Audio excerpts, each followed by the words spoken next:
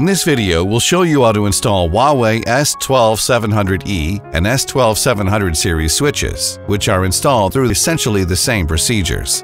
The S12708 is used as an example.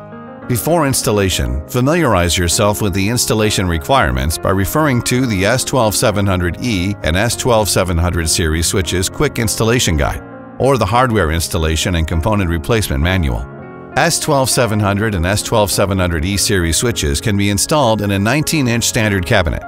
If you use a third-party cabinet, ensure it has sufficient vertical space for switch installation. The depth of the cabinet must be at least 600 millimeters. Make sure that the cabinet has suitable guide rails and trays. The distance between the front mounting rails and front door must be at least 95 millimeters. When you use a cabinet with a depth of 600 millimeters, ensure it has a single swing door.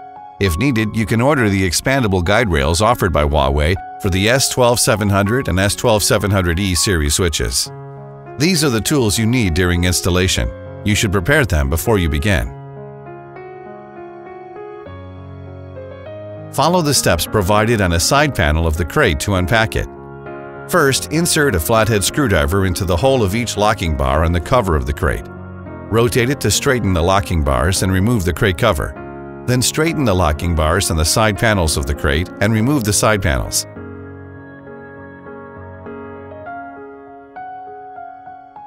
Take out the foaming materials, move the equipment from the crate and check the equipment.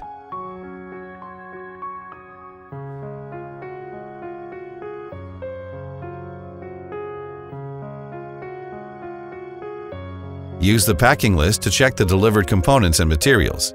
If you use Huawei expandable guide rails to install an S12708 switch, cut the installation template along the cutting line marked S12708 Huawei expandable guide rails used. If you use a different type of guide rail, cut the installation template along the cutting line marked S12708 Huawei expandable guide rails not used. Attach the installation template to the front mounting rails and mark mounting holes for all floating nuts and guide rails. When marking mounting holes, maintain the distance between the bottom edge of the installation template and the cabinet bottom. This distance must be at least 1U or a multiple of 1U.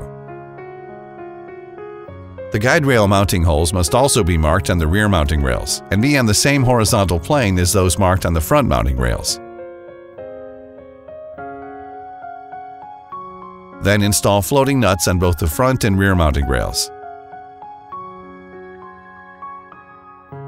Identify the left and right guide rails, as well as the front and rear of each guide rail to ensure you install them in the correct direction. Align the front end of a guide rail with the mounting poles marked on the front mounting rail and hang the front end on the mounting rail by positioning the hooks. Adjust the length of the guide rail and hang the rear end of the marked position on the rear mounting rail. Then secure the guide rail with screws. Use the same method to install the other guide rail. The rear ends of the guide rails must also be secured with screws. If you do not have access to expandable guide rails, use a tray instead. A fully loaded switch is heavy. Before installation, remove the cards and power modules from the switch to reduce its weight. Install handles on a switch. Some switch models have removable handles, while some have fixed handles. Move the switch into the cabinet using the handles. Do not drag or lift the switch using its top edge because this may deform the switch. After you place the switch on the guide rails, remove the handles, and then push the switch into the cabinet. Ensure that the bottom of the switch is completely attached to the guide rails or tray.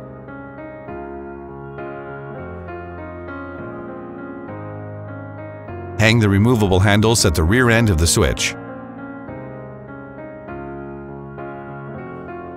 Use M6 screws to secure the switch in the cabinet.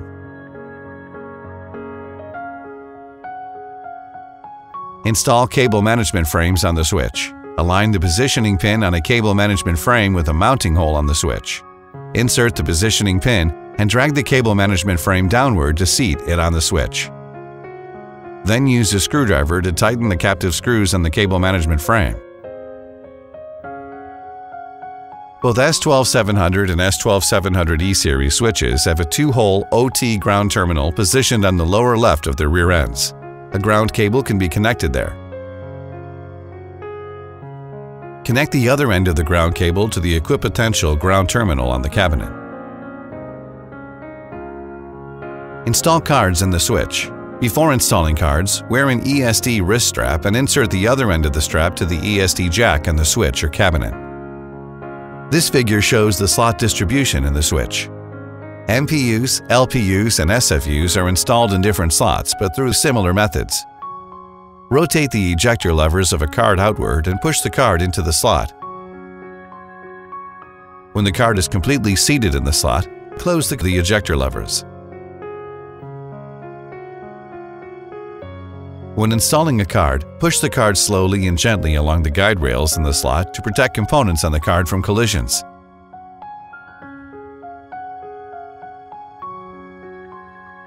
Make sure all the cards are installed correctly. Install filler panels in all the empty slots to ensure efficient heat dissipation and electromagnetic shielding in compliance with the Electromagnetic Compatibility Standard. Do not install SFUs of different types in the same switch. Before installing a power module, make sure that its power switch is off. Raise the ejector lever of the power module, push the power module into the slot, and then lower the ejector lever to lock the power module in place.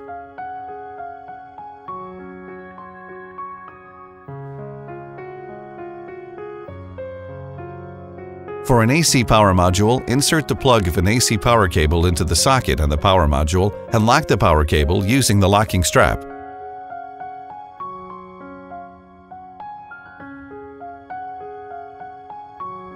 DC power modules are installed through the same method. Insert the plug of a DC power cable into the socket on a DC power module. Connect Ethernet cables or optical fibers by referring to the S12700E and S12700 series switches quick installation guide or the hardware installation and component replacement manual. Power on and check the switch. First, check the indicators on the power modules. If the input and output indicators are steady green, they are working properly. Then check the indicators on other modules to ensure that they are all working properly.